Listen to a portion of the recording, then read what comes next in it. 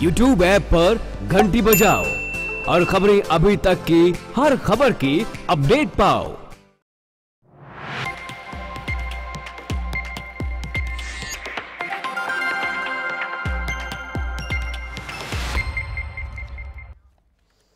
नमस्कार, बड़ी बात में आपका स्वागत है। मैं हूँ आपके साथ ज्योति सांगवान। हुड्डा सरकार के वक्त कर्मचारियों को पक्का करने के लिए बनाई गई नियमन नीति को लेकर गुरुवार को पंजाब हरियाणा हाईकोर्ट ने ऐसा नीति को रद्द कर दिया। है अदालत ने हुड्डा सरकार की नियमन नीति के तहत पक्के किए गए सभी कर्मचारियों को वापस कच्चा किए जाने के आदेश भी जारी कर दिए हैं। ऐसे में अलग अलग विभागों का अगर बात कर ली जाए, कितने कर्मचारियों पर इसका सीधा असर होगा तो करीब करीब बीस हज़ार कर्मचारियों के परिवार अदालत के इस फैसले से प्रभावित होंगे। अदालत ने अपने आदेश में छह महीनों के अंदर ही नई और साथ ही स्थायी भर्ती की जाए आदेश भी दिए हैं। अदालत के इस आदेश के बाद पूर्व मुख्यमंत्री भूपेंद्र सिंह हुड्डा ने प्रतिक्रिया दी। हुड्डा ने कहा कि उन्होंने नियमों के तहत ही नीति बनाई थी, लेकिन हरियाणा की बीजेपी सरकार मामले में अपना पक्ष ठीक तरीके से नहीं रख पाई, मजबूती के साथ पक्ष नहीं रखा। साथ ही इस मामले को लेकर इनेलो प्रवक्ता रविंद्र ढुल ने कहा कि सरकार सही ढंग से पक्ष नहीं रख पाई, ये आरोप इनेलो की ओर से भी लगाए गए हैं। मामले में क्या कुछ सीएम की ओर से और साथ ही पूर्व मुख्यमंत्री भूपेंद्र हुड्डा की ओर से कहा गया, वो सुन लीजिए। देखिए, जो हमने नीति बनाई थी वो नीति बिल्कुल कानूनन सही थी। ये जो मौजूदा सरकार है क्योंकि ये कर्मचारी विरोधी सरकार है इन्होंने कोर्ट में अच्छी तरह अपना पक्ष नहीं रखा सरकार ने नहीं तो कोई सवाल ही पैदा नहीं था। क्यों इसकी मैंने कहा नीयत ठीक नहीं है सरकार की। ये किसान विरोधी कर्मचारी विरोधी और जन, जन विरोधी सरकार है। देखिए ये पिछली कांग्रेस सरकार की एक इस प्रकार की देन है जिसमें उन्होंने बहुत से लोगों के ज़िंदगी खराब कर दी। अगर सोच समझ के पॉलिसीज़ वो बनाते तो इस प्रकार का हादसा ये ना होता। इसको मैं एक प्रकार का हादसा कहूँगा कि इतने सारे लोगों की, मुझे मालूम नहीं कि कितने लोगों का उसके ऊपर प्रभाव पड़ेगा, लेकिन जितने भी लोगों के ऊपर प्रभाव पड़ेगा, उनके तो कम से कम सालों साल खराब कर दिए, ना इधर के ना उधर के रहे। इसलिए जो पॉलिसीज़ बनाई जाती हैं, वो सोच समझ के बनाई जाती है। हमने अपनी सरकार में जितनी पॉलिसीज़ बनाई है, उसमें किसी में भी इस प्रकार का हाल कभी नहीं हुआ, जैसा इन पॉलिसीज़ का हो रहा है। नहीं नहीं, हमने बिल्कुल पैरवी ठीक से की है, और चूँकि कोर्ट ने एक प्रकार से उस पॉलिसी को ही गलत माना है तो ये मामला कोर्ट ने अगर कहा है तो उस पॉलिसी में जो खामियाँ होंगी उसी कारण से रहा होगा ना। हमने आने के बाद इस प्रकार की कोई पॉलिसी नहीं बनाई है। ये उन्हीं की बनाई पॉलिसीज़ हैं जिसके कारण से ये सब हुआ है। तो इसलिए निश्चित रूप से पूर्व सरकार जो है भूपेंद्र सिंह हुड्डा की सरकार वो इसकी जिम्मेवार है। पहले वाली जो नीतियाँ थी वो जो गलत नीतियाँ थी उन्हीं का ये परिणाम है। हमने कोई भी ऐसी नीति आज तक ऐसी गलत नहीं बनाई जिसके कारण से इस प्रकार से हो। कितनी ही चीज़ें जो गलत बनाई जा रही हैं चाहे वो भूमि से जुड़ी बातें होंगी चाहे नौकरी से जुड़ी बातें होंगी उन्होंने लोगों को लोक लुभावन बातें करने के लिए ये सब बैक एंट्री से जो कुछ किया था, उसी का दुष्परिणाम है। देखिए, हम उसका अध्ययन करेंगे। अध्ययन करने के बाद विचार किया जाएगा। अन्यथा सुप्रीम कोर्ट हाईकोर्ट ने तो ये कहा है कि दोबारा से उन पोस्टों के ऊपर नौकरी के लिए भर्ती की जाए तो उसका सारे का अध्ययन करने के बाद ये बताएँगे। तो मुख्यमंत्री को आपने सुना साथ ही पूर्व मुख्यमंत्री को भी आपने सुना। दोनों का अलग अलग पक्ष है। सरकार ये कहती है कि हमने मजबूती से पैरवी की थी, हमने पक्ष भी मजबूती से रखा था, लेकिन नीति ही गलत थी, नियमों को ताक पर रखा गया। वहीं हुडा साहब का कहना है कि नियमों के तहत ही ये नीति बनाई गई थी, लेकिन जो सरकार है, वो उसे मजबूती से नहीं रख पाई अदालत के सामने, जिसके चलते बीस हज़ार जो कि लोग थे, जो कर्मचारी थे, जो कच्चे से पक्के हुए थे, वापस उनको कच्चा होना पड़ेगा या फिर नौकरी भी उनकी जा सकती है। तो बीस हज़ार जो लोग हैं उनका दोषी कौन है? गलती किसकी है? इसको लेकर चर्चा करेंगे एक खास पैनल के साथ। हरियाणा बीजेपी से हमारे साथ संजय शर्मा जी हैं, बहुत स्वागत है आपका। इनालो से प्रवक्ता प्रवीण अत्रे साहब हमारे साथ हैं, आपका भी बहुत स्वागत है। संदीप कोटला जी, आपका भी बहुत स्वागत है इस चर्चा में। साथ ही कांग्रेस से हमारे साथ जल्द ही बालमुकुंद शर्मा जी भी इस चर्चा में जुड़ेंगे। शर्मा जी, आपसे पहला सवाल ये, क्या आप लोग मजबूती से पैरवी नहीं कर पाए? देखिए, ज्योति, ये तो केवल मात्र अपने मुँह को छिपाने के लिए हुड्डा साहब ने बयान दिया है। अगर कानूनी रूप से ये पॉलिसी सही होती तो कानून पे ठहरती। इसमें जब आपकी पॉलिसी में ही खामियाँ हैं जो आपने तय किया वही गलत तय किया है आदरणीय उच्च न्यायालय ने जो निर्णय दिया है उस निर्णय में उन्होंने कहा कि ये जो पॉलिसी बनाई गई 2014 के अंदर ये सीधा सीधा लोगों के वोट लेने के लिए की गई है। यानी कि ये माननीय उच्च न्यायालय ये बात कह रहा है। उन्होंने खुद अपने ऑर्डर में ये बात को लिखा है। कि ये उस समय की सरकार ने केवल वोट की राजनीति के आधार पर। ये पॉलिसीज़ बनाई है। इन पॉलिसीज़ में बहुत खामियाँ हैं क्योंकि 2006 के अंदर जो उमा देवी का केस था उसके आधार पर जो आदरणीय हाईकोर्ट ने कहा था कि सरकार कोई ऐसी पॉलिसी लेकर आए जो दूरगामी हो। जो एक मुस्त हो उसको बार बार चेंज ना करना पड़े। उसी आधार पर 2007 के अंदर हुड्डा सरकार ने पिछली सारी पॉलिसियों को रद्द कर दिया। चाहे वो सत्तानवे की थी निन्यानवे की थी 2003 की थी 2004 की थी वो सारी पॉलिसियाँ एक 2007 के निर्णय के आधार पर हुड्डा साहब ने रद्द कर दी। लेकिन 2011 के अंदर जो पॉलिसी लेकर के आए उसमें कहा वो उसी आधार पर उन्होंने किया उन्होंने कितने साल लगा दिए। 2006 में उमा देवी के केस में निर्णय आया था और 2011 में जाकर के वो पॉलिसी बनाते हैं। हालाँकि आदरणीय हाईकोर्ट ने कहा था कि छह महीने के अंदर अंदर ऐसी कोई पॉलिसी फ्रेम करो जिसके कारण से दूरगामी परिणाम इन सबके आए। लेकिन सरकार ने नहीं किया। अब वो यानी कि उस हमारी सरकार के ऊपर इस तरह लांछन लगा रहे हैं। किया धरा उनका उनके अनैतिक कार्य उनके खो, खोदे हुए गड्ढे। हम तो सोचते हमने गड्ढों को भर दिया लेकिन फिर कोई ना कोई गड्ढा निकल आता है। यानी कि हुड्डा साहब ने जितने काम किए वो सब ना न्याय संगत थे ना वो नैतिक थे ना कानूनी रूप से ठीक थे और उनका परिणाम पता नहीं कितने लोगों को भुगतना पड़ रहा है का क्या पक्ष है फ़िलहाल देखिए ज्योति जी पहली चीज़ तो ये है कि इस बात में कतई कोई दो राय नहीं है कि हुडा साहब के द्वारा युवाओं के भविष्य से खिलवाड़ किए जाने का एक उदाहरण है ये हम्म। और जिस तरह से हुडा साहब ने युवाओं के भविष्य से खिलवाड़ किया उसमें कुछ योगदान भारतीय। जनता पार्टी की तरफ़ से भी डला है वो कैसे डला है? देखिए हुडा साहब ने पॉलिसी गलत बनाई। ये बात तो संजय जी ने भी बता दी। उमा देवी वाले केस में जो 2006 में निर्णय आया था माननीय सुप्रीम कोर्ट का उसके बावजूद 2011 और 14 के बीच में जो चार पॉलिसीज़ हुडा साहब लेके हाँ। आए वो नियमों की अवेलना थी। कहीं ना कहीं वो वोट की राजनीति थी। और वोट की राजनीति का जो असर पड़ा वो युवाओं के भविष्य पे पड़ा आज के निर्णय के बाद। लेकिन भारतीय जनता पार्टी का योगदान कैसे है कि जब भारतीय जनता पार्टी की सरकार आई उसी वक्त भारतीय जनता पार्टी ने उच्च हाई कोर्ट के अंदर हम्म। ये बाकायदा लिखत में दे दिया था कि हम इस पॉलिसी को लागू नहीं करेंगे। तो हम्म। मतलब इन्होंने उसी वक्त इस चीज़ को मान लिया था कि हम इसको डिफेंड नहीं करेंगे। हम्म। अब यहाँ पे एंगल क्या आता है? देखिए इसमें कोई दो राय नहीं है कि हुडा साहब ने नियमों की अवहेलना की लेकिन एक एंगल होता है ह्यूमैनिटी का मानवता का। जिन युवाओं के साथ ये धोखा हुआ।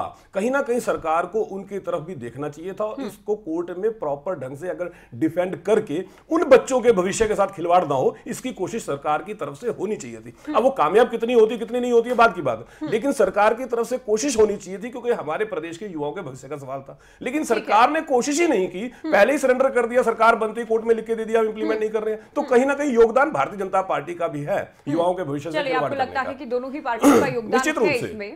केवल ढिंगरा साहब है हमारे साथ। हरियाणा कांग्रेस से प्रवक्ता फ़ोन लाइन पर जुड़े हैं। ढिंगरा साहब, बहुत स्वागत है आपका। जब कच्चे कर्मचारी ये मांग करते हैं कि पक्का कर दिया जाए, आप कई बार पैनल पर ही हवाला दे चुके थे कि हमारी नीतियाँ इतनी अच्छी थी, अगर वही नीतियाँ निरस्त ना की जाती, अदालत में ना लेकर जाया जाता तो पक्के कर दिए जाते सभी कर्मचारी। अब हाईकोर्ट ये कहता है कि नियमों को धत्ता बताया गया, ये नीति निर्माण में।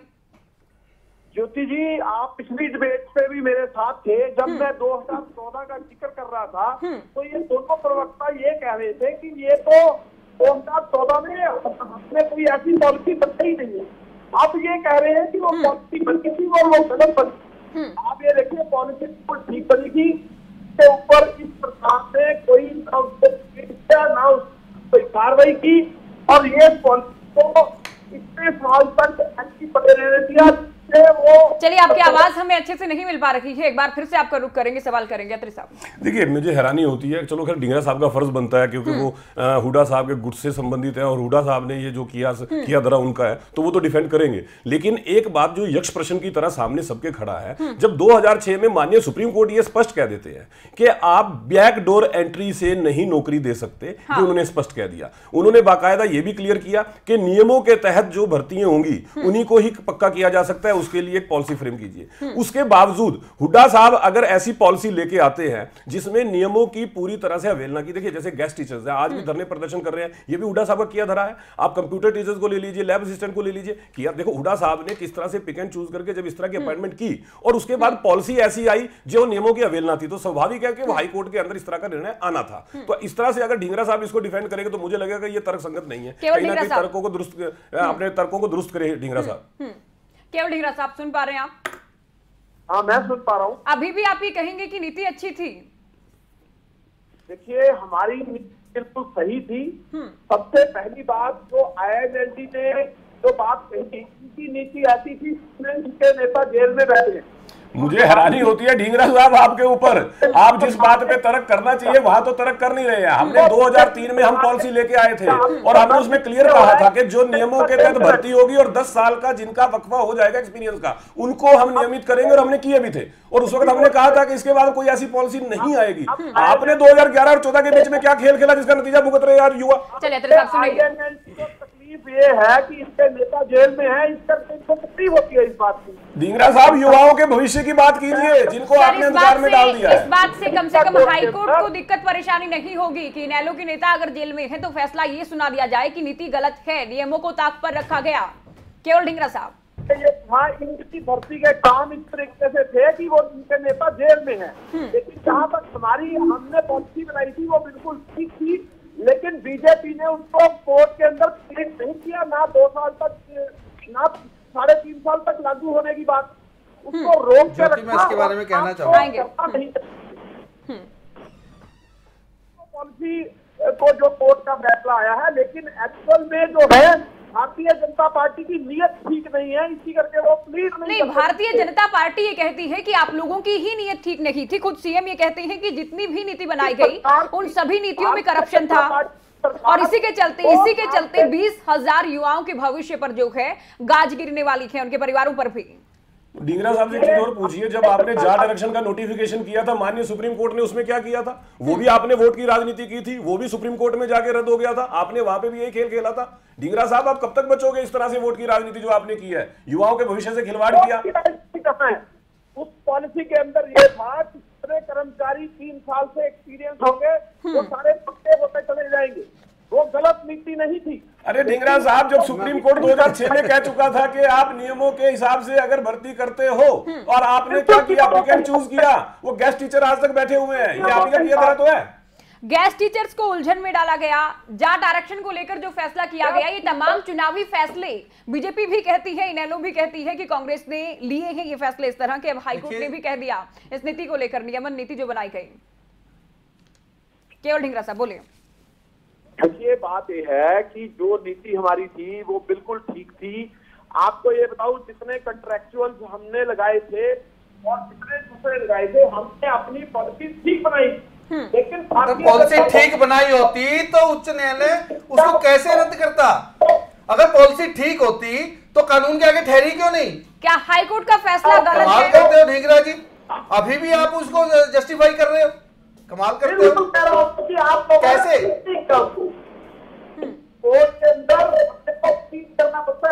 मैं बताता हूँ मैं बताता हूँ कोर्ट के अंदर क्या होता है। कोर्ट के अंदर वो होना चाहिए था जो 2006 के अंदर निर्णय दिया था। आदरणीय उच्चतम न्यायालय ने। उच्चतम न्यायालय ने कहा था कि दीर्घकालीन नीति बनाए और उसी आधार पर दो दस साल तक के जो लोग थे उनको रेगुलर करने की बात की थी। और ये भी कहा गया था कि आगे से कोई अडोक पे ना रखा जाए सेक्शन पोस्ट के अगेंस्ट। किसी को भी इलीगल भर्ती ना किया जाए। जब 10 साल की पॉलिसी बन गई है तो आप तीन तीन साल के लिए कैसे 2014 के अंदर अपनी पॉलिसी लेकर के आते हैं? तो आप अपने बात को कॉन्ट्राडिक्ट कर रहे हैं। अभी जो अभी अत्रे जी भी जो बात कह रहे थे कि भारतीय जनता पार्टी की सरकार ने उसको ठीक से पैरवी नहीं किया। कैसे पैरवी करते उसको? जब माननीय उच्च न्यायालय ने उच्चतम न्यायालय ने बात कह दी कि कोई भी कर्मचारी आप सैंक्शन पोस्ट के अगेंस्ट किसी भी तरीके से नहीं भरोगे। ना अडॉक के नाम पे भरोगे ना किसी और इलीगल तरीके से भरोगे। अगर आप भरोगे तो वो गलत और- होगा। उसी के आधार पर हम उसको और कैसे करते हैं। हमारे साथ हैं स्टूडियो पर। कहा ह्यूमनिटी भी एक ग्राउंड नहीं, होती humanity है। ground कैसे यहाँ होता है? आपने उन युवाओं के भविष्य के बारे में ये हमने नहीं किया कोशिश करनी चाहिए थी आपने कोशिश ही नहीं की। हम कोशिश ये है कि आपने सरकार उच्चतम न्यायालय के निर्णय को हम कैसे कोशिश अरे कोशिश तो करते किस आधार पर कोशिश तो पहले ही एफिडेविट दे दिया देखिए, कोशिश जब- तो करते जब जब उच्च न्यायालय और उच्चतम न्यायालय इस तरह की टिप्पणियाँ करते हैं तो सरकार कैसे इसमें कर सकती है? उच्चतम न्यायालय ने वो 2006 कहते हैं कि के करेब किसी को आपने भर्ती नहीं करना। उन्होंने कहा कोई भी रेगुलर बेसिस पे आप। उन्होंने कहा पार्ट टाइम ना करो। उन्होंने कहा वर्क वेजेस के आधार पर किसी को ना भरो। तो कैसे भर्ती कर दिया? मतलब कांग्रेस के लोग केवल मात्र देखिए, बैक बीजेपी डोर भी से तो अपने लोगों को भर्ती करना और अपनी सरकार के आने के बाद उनको रेगुलराइज करना। कच्चे कर्मचारियों की भर्ती आप लोगों ने भी तो आप हो। लोग वादा भी करते रहे और फ़िलहाल भी ये प्रक्रिया जारी है। तो अदालत के फैसले कौन सी सरकार कितना मानती है वो जनता अच्छे से जानती है। कमोबेश हर एक पार्टी इस तरह के फैसले है। देखिए अंतर है। हाँ। भारतीय जनता पार्टी की सरकार ने कच्चे कर्मचारियों को उस तरह से भर्ती नहीं किया जिस तरह से कांग्रेस की सरकार ने पिछले 10 साल के अंदर किया था 2004 से लेकर 2014 तक। देखिए जब एक निर्णय हो जाता है 2011 के अंदर कि 2004 के बाद जितने लोग भर्ती हैं उन सबको हम रेगुलराइज करेंगे 10 साल का पॉलिसी बना दी। लेकिन उनको लगा कि चुनाव सिर पर आ गए हैं और जिन लोगों को हमने पीछे भर्ती किया है अडॉक बेस पे भर्ती किया डेली बेसिस पे भर्ती किया या और अनुबंध के आधार पर भर्ती किया हम उनको कैसे लॉलीपॉप दें? उनको लॉलीपॉप ये दिया कि हम बालमुकुंद शर्मा जी हैं हमारे साथ। शर्मा जी बहुत स्वागत है आपका। धन्यवाद। तीन तीन कानून लेकर के आते हैं। नियमन नीति जो बनाई गई पक्का किए जाने की नीति बनाई गई ये नियमों के तहत नहीं बनाई गई इसको रद्द कर दिया गया है हाईकोर्ट की ओर से। देखिए प्रजातांत्रिक व्यवस्था में सामाजिक सरोकार के लेकर के आगे बढ़ती हैं सरकारें। जनता का प्रतिनिधित्व करती हैं। अत्री जी ने जैसे बिल्कुल ठीक कहा कि सुप्रीम कोर्ट हाई कोर्ट में जब जो कार्रवाई थी वे आप लोगों को अभी रोज़गार दे तो रहे नहीं। जिनको दिया हुआ है पिछली सरकारों ने कम से कम उस पर तो आप कायम रहो। देखिए आपको बड़ा शब्द ये है कि नियमों को ताक पर रखा गया। नियमों को ताक पर रखेंगे बैकडोर एंट्री करवाएँगे तो कैसे विश्वास किया जाए कि जो योग्य लोग हैं उन्हीं को नौकरियाँ मिलेंगी? कैसे विश्वास किया जाए कि करप्शन नहीं होगा? ज्योति जी। अपने चक्रितों को नौकरी दी जाएँगी सर इस तरह से उसको आप डिफेंड भी करेंगे फिर। सरकार सरकार में कोई भी कायदा कानून हो उसमें दो चीज़ें होती हैं एक रूल और एक पॉलिसी पॉलिसी रूल को लागू करने के लिए बनाई जाती है। जैसे दस साल की पॉलिसी और तीन साल की। सरकार के बिल्कुल एकाधिकार में है ये। जैसे जब अगर दस साल को आप संजय जी जैसे कह रहे हैं भैया दस साल वाली को तो कह रहे ठीक है तीन साल वाली को ठीक नहीं है। सरकारों को निर्णय के आधार पे कह रहा हूँ। देखिए, बेसिकली ये 2014 की पॉलिसी मैं कंटेम्प्ट ऑफ़ कोर्ट है। कंटेम्प्ट ऑफ़ कोर्ट है रोमा देवी के के मामले में। देखिए उन्होंने एक विंडो दी थी छह महीने के लिए। हाँ। और उस उस विंडो चलो छह महीने का माननीय-। माननीय- 2011 में आपने पॉलिसी देखिए, बना दी। आज हम- पॉलिसी के अंदर आपने ये लिख दिया कि ये वन टाइम मेजर है। वन टाइम मेजर आपने अवेल कर लिया उसके बाद कोई पॉलिसी आ ही नहीं सकती रेगुलराइजेशन की। देखिए, ये contempt of Supreme Court order ये चीज़ें तय विषय पर इस पर चर्चा की जाएगी। आज फैसला आया है इसका अध्ययन किया जाएगा। आगे और अदालतों के दरवाजे हैं। दिख रहा है सरेआम उसमें क्या अध्ययन करने की ज़रूरत है? संजय शर्मा जी, संजय शर्मा तो जी। सरेआम एक तरह से? आपके किए हुए कर्मों का फल उन लोगों को भी मिल रहा है जिनको बेचारे के तो आपने भाषा को अंधकार में कर दिया। प्रजातंत्र में केवल लोगों के प्रजातंत्र में देखो संजय शर्मा जी मुझे लगता है ये मेरा टाइम है। मुझे लगता है समय मेरा है। सर प्रजातंत्र में प्रजा ये उम्मीद करती है जी, कि जिस सरकार को वोट दिए जनादेश जिसको दिया गया वो योग्यता के आधार पर नौकरियाँ देगी। मैं मैं आपको वही बताना चाहता प्रजातांत्रिक व्यवस्था में सरकारों का एकाधिकार। ये नहीं, मैं नहीं कहता सरकार सरकार का एकाधिकार और सरकार का कर्तव्य है। कि वो जनता की सेवा करे। समय समय पर बहुत से कानूनों में भी बदलाव किया जाता है। कानून बनाने का काम सरकारों का सुप्रीम कोर्ट है। है। बात तो सुनते नहीं। यही तो दिक्कत है। कानून नहीं बदला आपने। इसे अरे संजय शर्मा इस एक तो घंटे में से संजय शर्मा जी दस मिनट तो मुझे मिलती होंगी। आप तीन तीन मिनट करके तीन बार टाइम दे आप उसको कमाल कर देखिए। राजनीतिक राजनीतिक नेता चाहे आप और संजय शर्मा जी मैं हूँ। हाँ। राजनीतिक नेता का धर्म पड़ता है जनता की सेवा करना। और उस जनता की सेवा करने आप सुनो तो जी मेरी बात है। मैं ये कहना चाहता हूँ ये तो पर बाई चांस आज निर्णय आया है ज्योति जी। इस निर्णय का हम अध्ययन करेंगे। मैं ये कहता हूँ इससे भी ज़्यादा संख्या में पिछले ढाई साल में संजय शर्मा जी ने इन्होंने बच्चे लगाए हैं। मैं आरटीआई जितना टाइम लेती है मैं लिया करके दे दूँगा और आ, आ, आगे से हम डिबेट पे आकर के हम इनसे बहस करना छोड़ देंगे। अगर ये हमारी बात सत्यता कसौटी पे खरी ना हो तो। लगातार ये लगा रहे हैं हर रोज ये लगा रहे हैं। ये ये समझ से बाहर नहीं, नहीं, नहीं। कैसे समझ से बाहर है? क्यों नियम नहीं होंगे? मैं नियमों को मानता हूँ। मैं ये कह रहा हूँ। कुछ भी नहीं है। इसका अध्ययन किया जाएगा। इसका अध्ययन किया जाएगा। इसका अध्ययन किया जाएगा। दिया जाएगा। अगर किसी ने गलत किया है वो उसका वो उसकी उसको वो मिलेगी।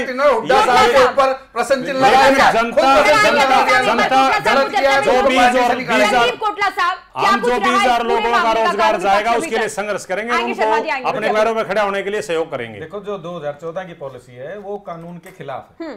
Supreme Court as a protector of constitution उन्होंने उमा देवी के अंदर साफ़। लफ्जों पे ये कह दिया था कि भी जो भी आपने डॉक बेसिस पे या डेली वेजर या जिस भी तरीके से आपने बैकडोर एंट्री की है वो द, अगर उनको 10 साल हो गए इन सर्विस तो एक वन टाइम मेजर के हिसाब से एक पॉलिसी आप विद इन सिक्स मंथ लेके आओगे और उस पॉलिसी के तहत वो आदमी आप रेगुलराइज कर सकते हो। सरीमान जी लेकिन सरकार कानून बनाने के लिए बैठी है सरकार कानून बनाने के लिए बैठी है। अध्यादेश ला सकती है सरकार ये कानून आपकी सरकार क्यों नहीं लाई अध्यादेश? आप और उसमें भी सुप्रीम कोर्ट ने ये क्लियर कर दिया था कि आप तो कानून के साथ बलात्कार करो और हमें कहते हैं कि आप पॉलिसी लेकर के आओ आप अध्यादेश लेकर के आओ। सर एक्सप्लेन तो कर लेने दो। बोलिए। उसमें भी सुप्रीम कोर्ट ने ये ये कह दिया था कि भी जो भी आप पॉलिसी लाओगे सिर्फ़ वही एम्प्लॉय इसके अंदर रेगुलराइज होंगे जो कि सीधे तरीके से भर्ती के हैं। बैकडोर एंट्री वाले उसमें भी रेगुलराइज नहीं होंगे। हम्म। 2014 की policy it's of court Supreme Court के जो उमा देवी का जो जजमेंट है उसकी कंटेम्प्ट है बेसिकली जब इन्होंने वन टाइम मेजर के लिए सुप्रीम कोर्ट ने कह दिया आप एक पॉलिसी ला सकते हो। हाँ। वो पॉलिसी ये दो हज़ार ग्यारह में ले आए। और उस पॉलिसी के अंदर भी लिखा हुआ है कि ये वन टाइम मेजर है उसके बाद कोई पॉलिसी नहीं आएगी। फिर दो हज़ार चौदह में सीधा जवाब है इस बात का मैं बताता हूँ जो हुक्मरान है जो शासन करने वाले लोग हैं जो हुक्मरान है वो समय समय की परिस्थितियों के अनुसार फैसला करते हैं। ये देखिए सुप्रीम कोर्ट के ऊपर संविधान की व्याख्या करने के लिए सुप्रीम कोर्ट है देश में। बिल्कुल है कोर्ट बिल्कुल फैसला सुनाएगा उसकी पालना करना किसका हाई कोर्ट ने फैसला दिया चुनाव से तुरंत पहले। No no no no high court ने फैसला दिया इसका अध्ययन होगा। देखिए संजय शर्मा जी को पता है। संजय शर्मा जी को पता है न्याय बहुत से ऐसे फैसले हुए हैं जो हाईकोर्ट के फैसले सुप्रीम कोर्ट ने चेंज कर दिए। नहीं होता ये ये क्यों नहीं होता? जुलाई में दो हज़ार अच्छा। चौदह के अंदर अगर हुक्मरानों ने किसी ने गलती की है वो उसकी अजाब भुगते लेकिन जो बेरोजगार बीस हज़ार लोग हैं इनके इनके जीवन का सवाल। इसमें संजय शर्मा जी क्या करेंगे जो ये बीस हज़ार लोग हैं ये आप आज सरकार आप चला रही है। आप इसका जवाब आप इसको कोर्ट में लेके जाएँगे नहीं जाएँगे आप इसको सुप्रीम कोर्ट आप इसको जो बीस हज़ार लोग हो गए भविष्य का सवाल। बीस हज़ार आप अब सुप्रीम कोर्ट में जा रहे हैं नहीं जा रहे हैं? आप सुप्रीम कोर्ट में इसके खिलाफ जा रहे हैं नहीं जा रहे हैं? जो बीस हज़ार लोगों के भविष्य खिलवाड़ अरे सरकारें कंटिन्यू चलती चलती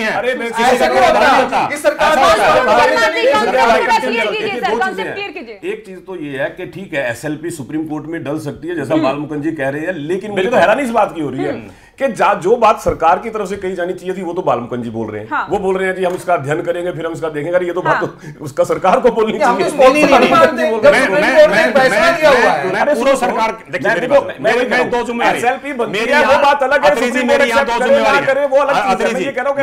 जिम्मेवारी है। मैं हरियाणा का नागरिक होने के नाते उन बीस हज़ार लोगों के प्रति मेरी संवेदना है। मैं अभी से तो- लेकर के और जब तक उनको न्याय मिलता उनके साथ करूँगा दूसरी कि आपकी संवेदनाएँ उनके साथ बिल्कुल बिल्कुल। तो मुझे मैं ये कहूँगा कि साहब जिस वक्त उनके भविष्य के साथ धोखा हो रहा था। खिलवाड़ हो रहा था उस वक्त आपको आवाज़ उठानी नहीं हो रहा था। आपने उस वक्त आवाज़ नहीं उठाई। नहीं समझते। मैं क्यों नहीं प्रजातांत्रिक व्यवस्था में एक बात स्पष्ट कह चुका है 2006 में। किसी को रोज़गार देना आपके किसी की रोजी रोटी की व्यवस्था करना तो किसी के परिवार को चलाना धोखा किया धोखा नहीं किया। नियमित भर्ती करते। रेगुलर उनकी अपॉइंटमेंट करते हैं? ये नौबती ना शर्मा जी छोड़ा क्या ये समझना बेहद मुश्किल है?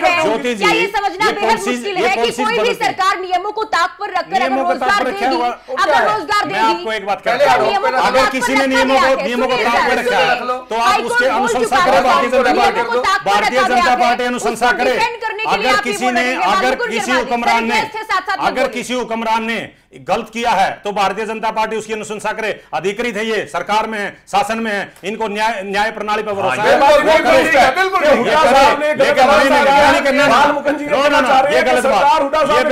क्या करे आप मेरे से क्या कहना मेरी बात उधर में उधर तो देखो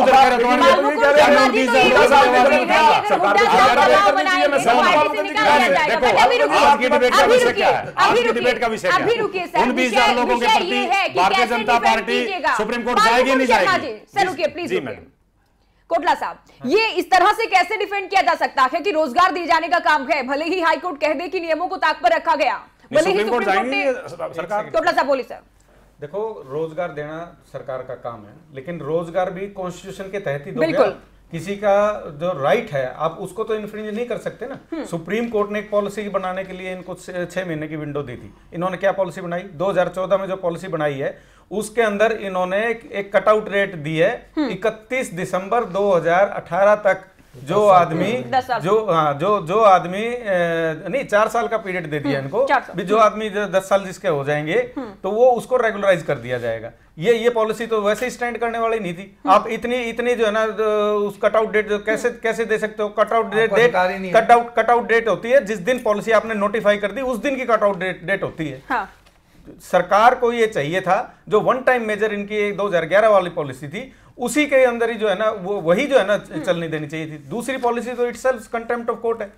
अगर किसी ने ये पॉलिसी बनाई है तो, तो इसके हाँ, संदीप इस, जी एक सवाल मैं आपसे पूछता हूँ आप एज ए लॉयर जैसे आप बार बार कह रहे हैं कंटेम्प्ट ऑफ़ कोर्ट है आप कानून के ज्ञाता है आपको बेहतर पता है? तो क्या इस मामले में भूपेंद्र सिंह हुड्डा साहब के खिलाफ कंटेम्प्ट ऑफ़ कोर्ट का मामला चल सकता है? बिल्कुल चल सकता है। तो सरकार यहाँ पे बैठी है संजय जी क्या करेंगे आप? नहीं ठीक है इन्होंने सुझाव दिया अच्छा सुझाव दिया है। हम भी अपने लीगल एडवाइजर जो है लीगल लोग हैं हमारा एजी ऑफ़िस है उनको इस बात से बात करेंगे कि अगर उनके खिलाफ बनती है। देखिए सीधी सी बात क्या है? छवें महीने में 2014 के अंदर ग्रुप बी के जो कर्मचारी हैं जिन्होंने तीन साल पूरे कर लिए उनको रेगुलर करने की यानी अठाई पाँच तक जिन्होंने अठाई पाँच दो तक यानी कि एक पॉलिसी 2011 में लेके आते हैं कि जिन्होंने 2006 अ, मा- अप्रैल तक 10 साल पूरे कर लिए वो रेगुलराइज हो जाए। लेकिन इन्होंने फिर 2006 के बाद अपने लोगों को भर्ती करना शुरू किया।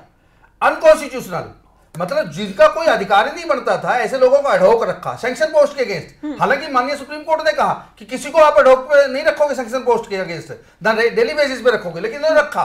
क्यों? इलेक्शन मोड में इलेक्शन मोड में थी ना हाँ, नहीं हाँ वही नहीं नहीं इलेक्शन रख तो लिया लेकिन अब क्योंकि जा रहे हैं सरकार जाने वाली है इनको रेगुलराइज कैसे करें या इनकी वोटें तो कैसे लें? इनके वोटें कैसे लें? तो। वो- वो हो माननीय एक- सवाल मेरा आपसे 20 मिनट की बहस में एक सवाल है 20 मिनट छोटा सा। मेरे एक बात का जवाब दीजिए देखिए आपने बिल्कुल सही कहा कि इन्होंने नियमों को धत्ता बता के इस तरह से जो है भर्ती किया क्या आप डीसी रेट पे एमएलए एमपी की अनुशंसा पे भर्ती नहीं कर रहे नहीं, बिल्कुल नहीं और- कर रहे। अरे हूँ, जवाब नहीं है है, हूँ।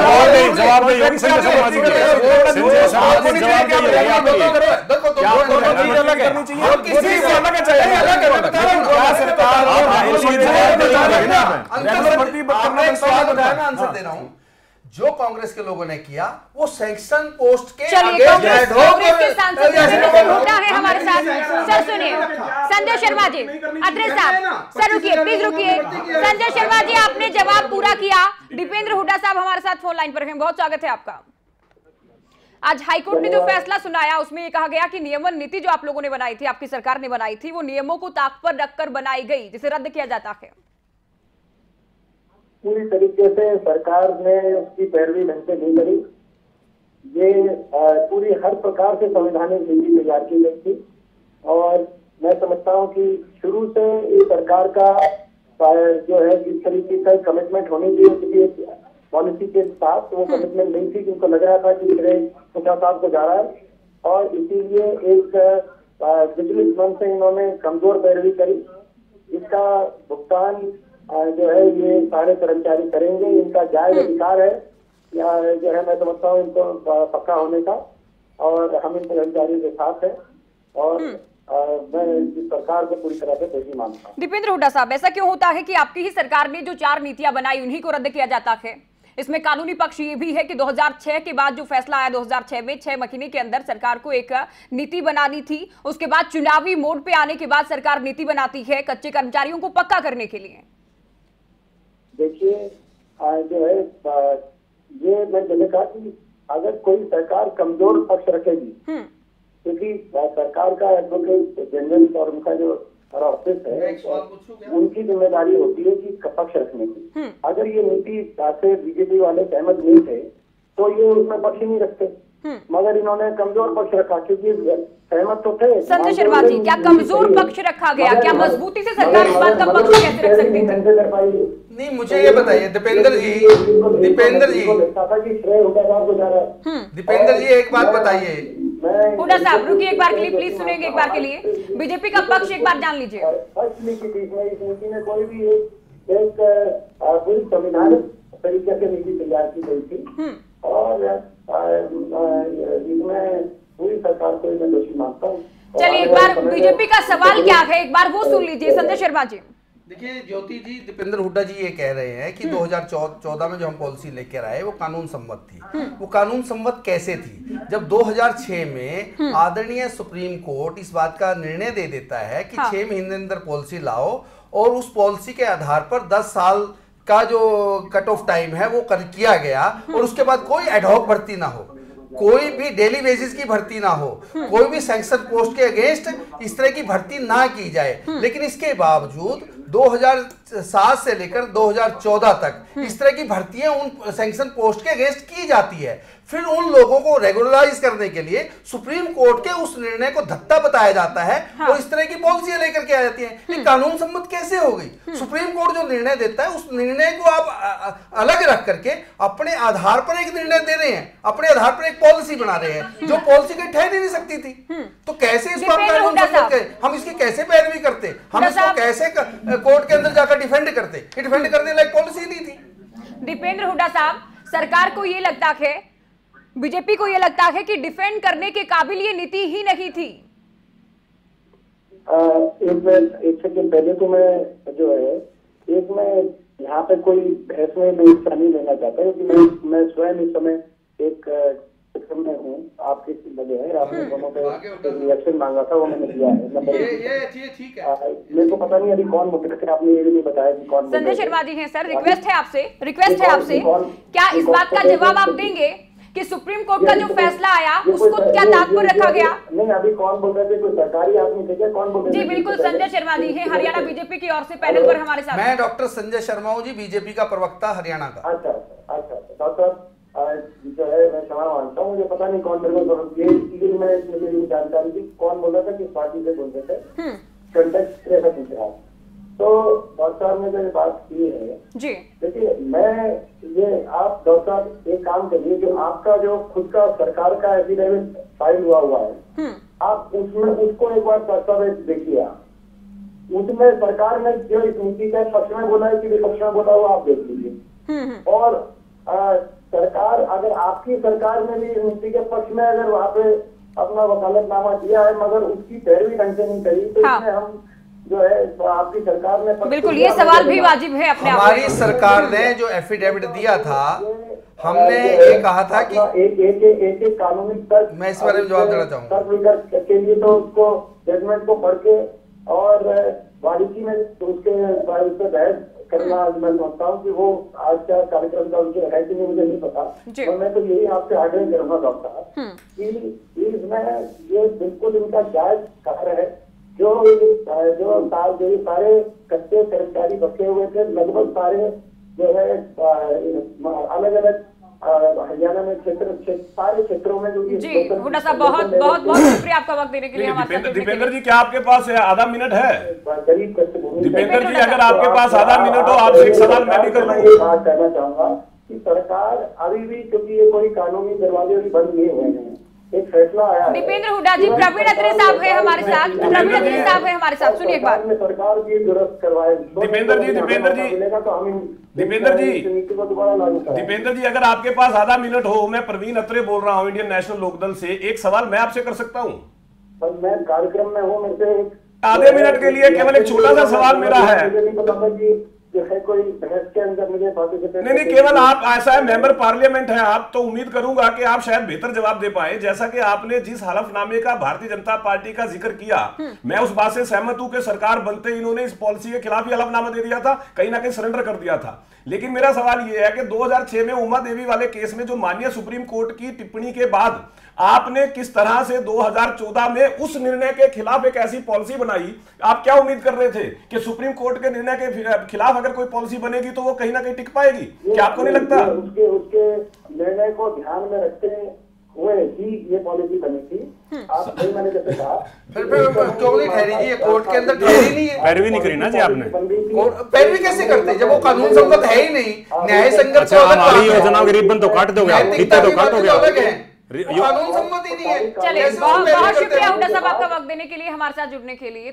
योजनाएँ हैं, उनके फीते तो आप काट दोगे, के साथ उसकी पैरवी। सरकार की ओर से। इस तरह की चर्चा बातें चर्चा करके जारी रखेंगे बालमुकुंद शर्मा जी आपके पास भी पर्दा नहीं डाल आएँगे तो हुड्डा सरकार के वक्त जो कच्चे कर्मचारियों को पक्का किए जाने की नीति बनाई गई थी हाईकोर्ट ने उनको रद्द कर दिया है और जो बीस हज़ार कच्चे कर्मचारी थे उन पर गाज अब गिरने वाली है क्योंकि आदेश में साफ़ कहा गया है कि जो पक्के कर दिए गए हैं उनको फिर से कच्चा कर दिया जाए। इस पर इनेलो का पक्ष हमने पैनल पर भी जाना।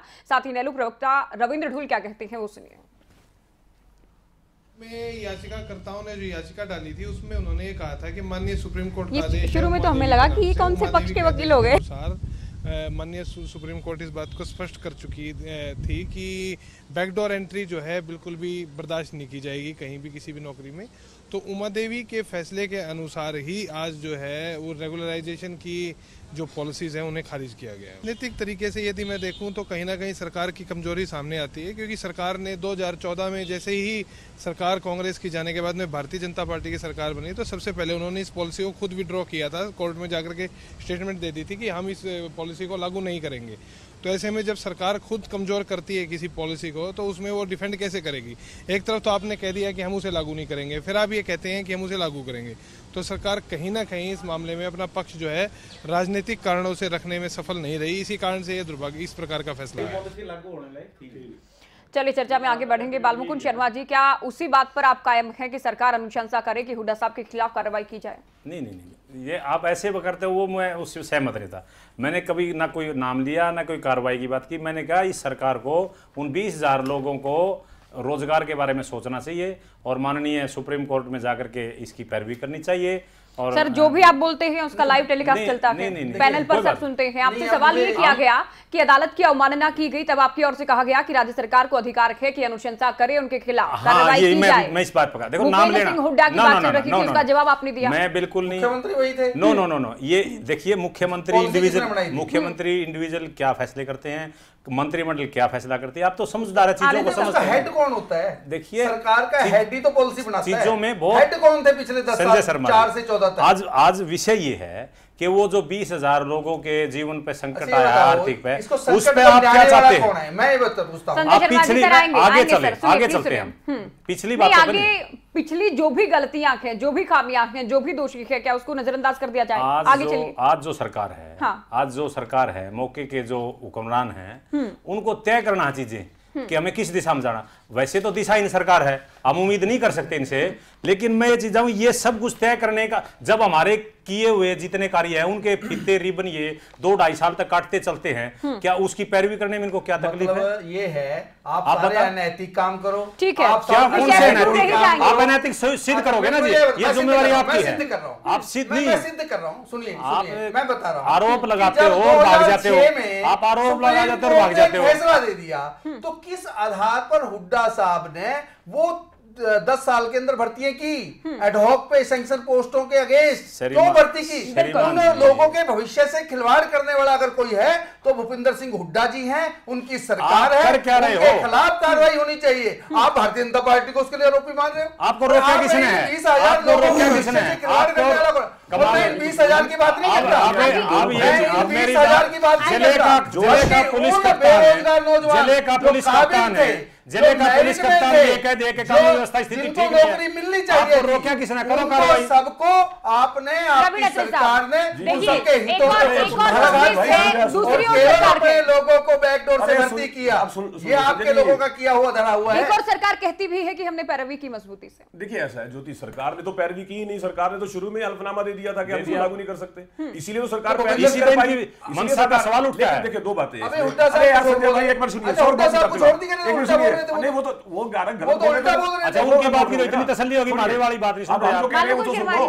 देखिए दो चीज़ें हैं। अभी बाल मुकुंद शर्मा जी जिन बीस हज़ार परिवारों पर इसका नकारात्मक प्रभाव आएगा जिनके भविष्य के साथ खिलवाड़ हुआ है जी बाल मुकुंद शर्मा जी हमदर्दी प्रकट कर रहे हैं। तो मैं ये भी उम्मीद करता हूँ कि बाल मुकुंद शर्मा जी इस बात से भी सहमत होंगे कि जिस व्यक्ति की वजह से इन बीस हज़ार परिवारों का भविष्य अंधकार में गया है उस व्यक्ति के खिलाफ भी कार्रवाई होनी चाहिए। क्यों बाल प्रवीण अत्रे जी मैं आपसे एक सवाल पूछा है। जिस जो भी है इसका कल्प्रिट मैं आपसे पूछ रहा हूँ जो भी कल्प्रिट है आप नहीं चाहेंगे उसके खिलाफ कार्रवाई हो। मैं उसका जवाब दूसरी बात दरअसल क्या हुआ? ये जो डिबेट है ये थोड़े समय से पहले मुझे एक बात आप हम भी प्रकट कर रहे हैं और आप चाहते नहीं है कि हम्म। जो आदमी कल्प्रिट है उसके खिलाफ कार्रवाई हो इसमें ये भी आप क्यों नहीं चाहते? नहीं इसमें दूसरा ये भी है कि वो बीस हज़ार लोग जो इन्होंने लगाए हैं उन लोगों के भविष्य के बारे में सुनो तो भैया। उनके भविष्य के बारे में बीस हज़ार लोग वो जो काबिल लोग थे काबिल हैं जो कि प्रॉपर चैनल से भर्ती होने चाहिए थे आपको पैरवी करनी चाहिए। भर्ती चाहिए उनके हितों में जो किया अरे ये तो काम आप भी लगातार कर रहे हो। आप भी लगातार जो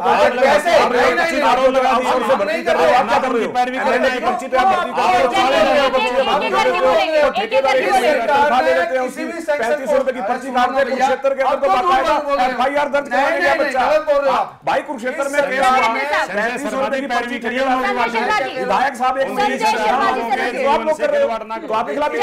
बालमुकुंद शर्मा जी देखिए दोनों चीज़ें एक साथ नहीं चल सकती ये भी की हमने रोज़गार दिया बीस हज़ार लोगों को। संजय शर्मा जी ने कहा की अगर आप वो रोज़गार नहीं देते तो जो योग्य लोग थे काबिल थे उनको वो रोज़गार मिलता उनके भविष्य के साथ खिलवाड़ हुई जो की गलत फैसला है आपकी सरकार का रहा उस वक्त। संजय शर्मा जी की बात को मैं इसलिए ज़्यादा सीरियसली नहीं लेता कि ये खुद जो ना दो तरीके ये पहले ये कह रहे कि वो पॉलिसी ठीक नहीं थी फिर उसकी पैरवी ठीक तरीके से नहीं करती। मैं ये कहना चाहता हूँ? वो कैसे करते हाँ। आपको जनता ने समान आपको जनता ने आपको जनता ने आप बहुमत दिया है। मैं कहता हूँ जो आप ये टीवी पे डिबेट कर रहे हो ये बीस हज़ार लोग उनसे पूछेंगे कल। वो बीस हज़ार लोग आपसे पूछेंगे। आप एक बार और कह दो कि हम नहीं करेंगे। आप ये कौन से कानून सब नए संगत काम करने वाली सरकार है। ये सरकार किसी के हितों को मारने वाली सरकार ये सरकार ये सरकार में एक एक जन दुखी है विधायक दुखी है एमएलए दुखी है एमपी दुखी है। इस सरकार में इस सरकार में संतुष्ट कौन है संतुष्ट कौन आपकी सरकार से ये बताइए जनता दुखी है। सर आपने एक बार भी नहीं माना कि नियमों को ताक पर रखा गया। आपको तथ्यों के हिसाब से सारी जानकारियाँ दी गई। फैसले की कॉपी जब तक आएगी नहीं और इनेलो की बात ना भी करें तो कानून के जानकार हमारे साथ पैनल पर हैं उनकी ओर से कहा गया। उनकी ओर से भी कहा गया। ये आप बीजेपी पर अटैक करते रहेंगे ये फैसले की कॉपी आएगी उसका हम अध्ययन करेंगे आप दोबारा बुला लेना अपना समय यही है। अभी फैसला सामने है। हाईकोर्ट का फैसला सामने है माननीय अदालत ने टिप्पणी क्या की? अगर आपको देखनी है तो माननीय अदालत ने मैं मैं बताता माननीय अदालत ने टिप्पणी क्या की? देखिए अगर माननीय अदालत ने हम्म। हुक्मरानों पर टिप्पणी की है तो मेरा कुछ और जवाब होगा। हम्म। लेकिन फिर भी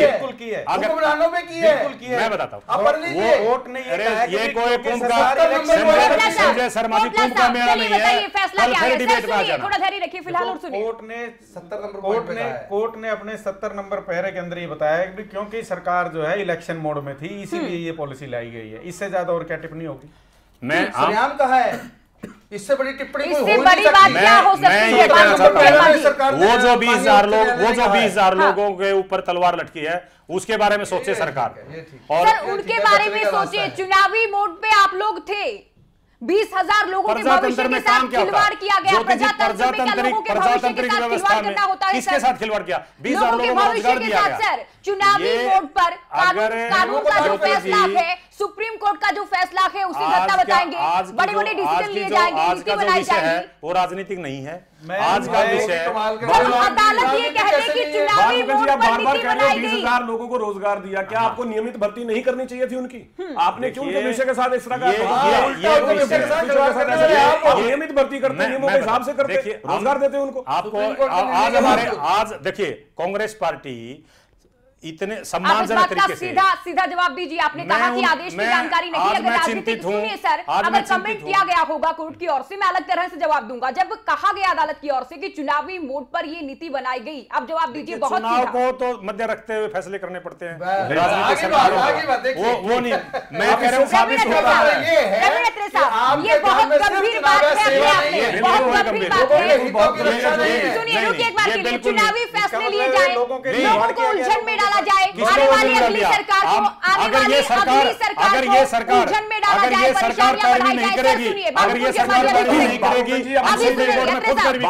अगर ये सरकार पैरवी नहीं करेगी मैं कांग्रेस जो है वो चुनावी मोड में रह के काम करती है इन्होंने कहा बार बार कहने रहे हैं कि आपने आपने कहा आपने आपने कहा कहा मैंने फैसले की कॉपी जब तक नहीं पढ़ूँगा चाहे मैं उसका नहीं दूँगा आपने कहा इसका मतलब ये आपने बात के लिए क्लियर किया जाना ज़रूरी है सर सुनिए। पूरे पैनल ने सुना सारी जनता ने आपने क्या सर सुनिए आपने कहा आपने क्या चुनावी समय पर ऐसे फैसले लिए जाते हैं। सर क्या मुकरा मत कीजिए पैनल पर? आपने कहा। क्या क्या मुकरा मत कीजिए सर पैनल तो पर? आपने क्या ना जी। मैं मैंने तो फैसले कॉपी मांगे।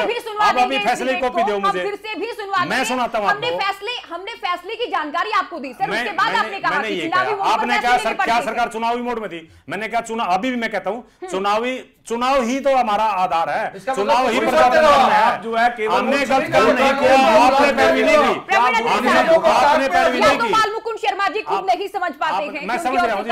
मैं उन 20,000 या लोगों के लिए चिंतित ही।